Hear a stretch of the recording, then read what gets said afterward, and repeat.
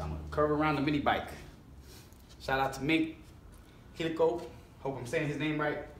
This guy's a he's a beast in pool. He's the reason why I'm actually doing this right now. Let's see if I still got it. Right now my pinky a little messed up. Oh, missed, missed. I'm gonna do this again.